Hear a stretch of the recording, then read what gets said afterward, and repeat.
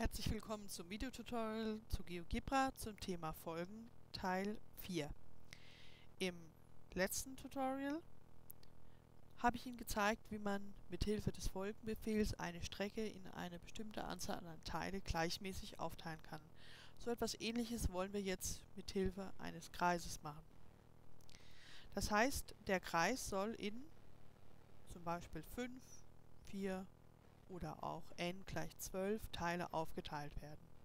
Wie würde man das zeichnerisch machen?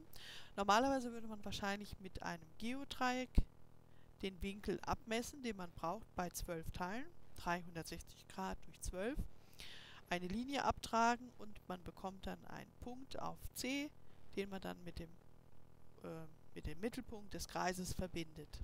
Das Ganze macht man dann entsprechend oft, wie viele Teile man haben möchte. In GeoGebra nutzen wir wieder Folgen. Und damit wir auf den richtigen Ausdruck für den Folgenbefehl kommen, überlegen wir uns, wie wir erstmal den ersten, äh, den ersten Teilungspunkt bekommen. Wir machen das Ganze mit Hilfe des Befehls drehe. Für diejenigen, die den noch nicht so, sehr, äh, nicht so gut kennen, nutzen wir wieder die Hilfe mit der Taste F1.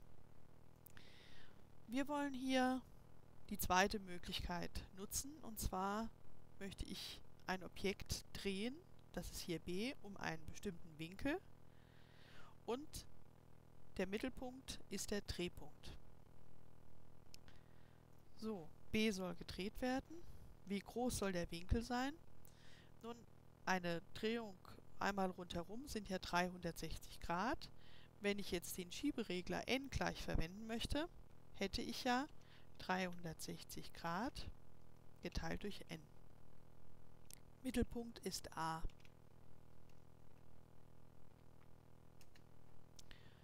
Wir testen mal, ob der Schieberegler tatsächlich eine Auswirkung hat und man sieht bei n gleich 1 oder n gleich 2, dass das bereits funktioniert.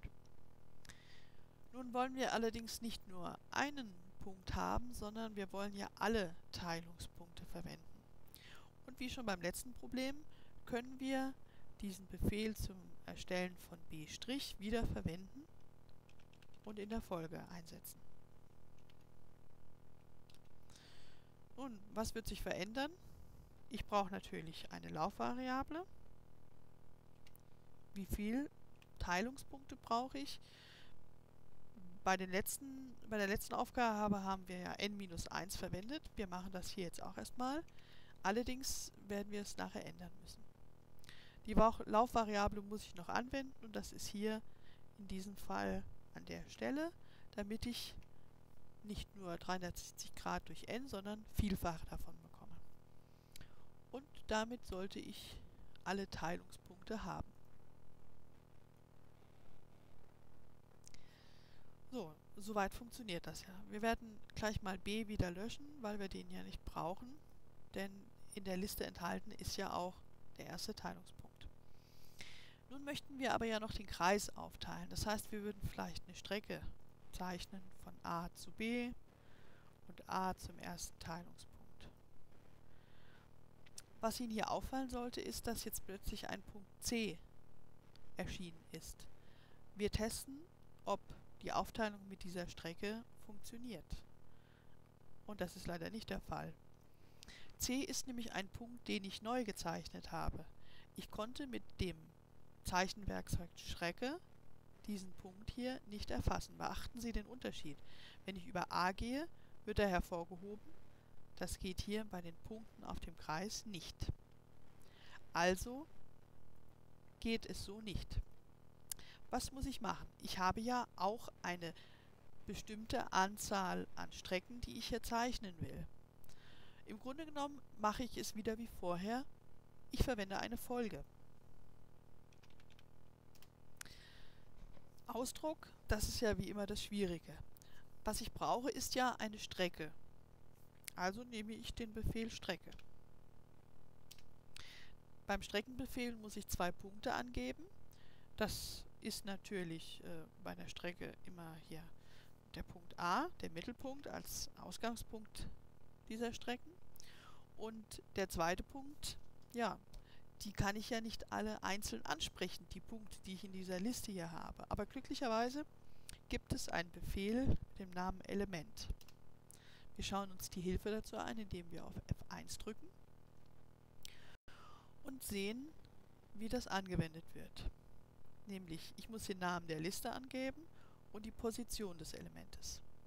Also, der Name der Liste ist ja S1, äh, Liste 1 und die Position, die ergibt sich aus meiner Laufvariable, die ich verwende. Ich kann wieder i verwenden oder auch einen anderen Namen. Der hat mit der bisherigen Liste nichts zu tun. Das ist eine, äh, eine Laufvariable, die nur innerhalb dieses Folgenbefehls eine Rolle spielt. So, jetzt muss ich nur noch schauen. Die äußere Klammer gehört zum Folgenbefehl, also muss ich hier drin i von 1 bis eingeben. Wir hatten in der Liste 1 ja n-1 Punkte. Also verwende ich auch hier n-1. So, und damit habe ich die ganzen Teilungslinien. Ja, Im Prinzip sieht es schon mal gar nicht schlecht aus. Nur habe ich ja hier eine Strecke a, die von Hand eingezeichnet wurde. Und ich möchte vermeiden, dass ich weitere Linien brauche, außer meine zwei Listen. Warum geht das nicht? Ganz einfach deshalb, weil bei meiner Liste 1 der Punkt B ja nicht enthalten ist. Schauen Sie nochmal, wenn ich die Liste 1, also die Teilungspunkte unsichtbar mache, dann verschwinden nur die 4. Der fünfte, das B, bleibt erhalten. Was ich also machen muss, ist erstmal die Liste 1 verändern. Ich habe zwei Möglichkeiten. Entweder fange ich hier bei 0 an oder ich gehe bis n. Auch wenn der Ente gedrehte Punkt gerade dem b entspricht. Ich könnte das b jetzt auch entfernen. Wir machen es gerade mal unsichtbar. Und trotzdem ist dieser Punkt, der richtige Punkt, vorhanden. Aber ich brauche b, um den Kreis zu bewegen und zu verändern, deshalb lasse ich ihn sichtbar. Nun muss ich natürlich auch noch meine Liste 2 verändern mit den Strecken. Und damit bin ich schon bei der Lösung. Und jetzt kann ich die Anzahl der Teile beliebig variieren. Ja, bei diesem Beispiel haben Sie jetzt vor allem den Befehl Elemente kennengelernt, der sehr wichtig ist, wenn ich nicht nur eine einzelne Liste, also Folge, sondern ähm, weitere Folgenbefehle anwenden möchte, indem ich die Inhalte der ersten Liste nutze. Dieser Elementebefehl ist unerlässlich dafür. Viel Spaß nun beim Ausprobieren. Vielleicht gibt es noch ein weiteres Tutorial zum Thema Folgen, bei denen ich Ihnen noch etwas zeigen werde. Viel Spaß!